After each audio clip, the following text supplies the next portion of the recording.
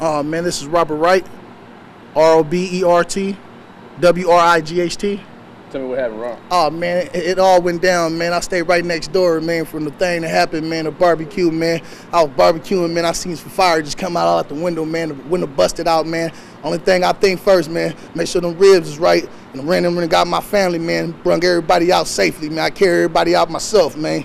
You know what I mean? Keep this PG, everybody myself, man. I did that. Feel me?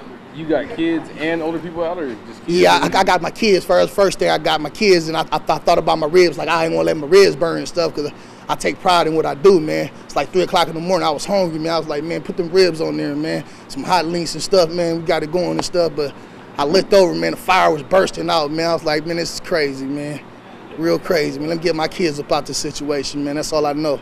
You feel me? And I, I'm from the Bay Area, man. You know I'm located in the Bay Area. You feel me? Out here now, but yeah, I'm from the Bay, man. They call me West Oakland, man, you know. But I'm gonna keep things going, man, keep going, you know. But it, it, was frantic, man. It was real serious out there, man. It was real serious, man. But yeah, man, I'm enjoy this barbecue though, man. Have a good night, man. Hopefully they put us in the motel, man, you know what I mean? Because I ain't trying to come out the pockets. They owe me. They owe me for that one, you feel me? Did you get, get injuries yourself? I did. Did I get the injuries? Yeah, you get. Oh, no, I ain't get no injuries and stuff except for the, all the smoke in my lungs and stuff. I already had smoke in my lungs, so I, I'm all right. All right, Rob.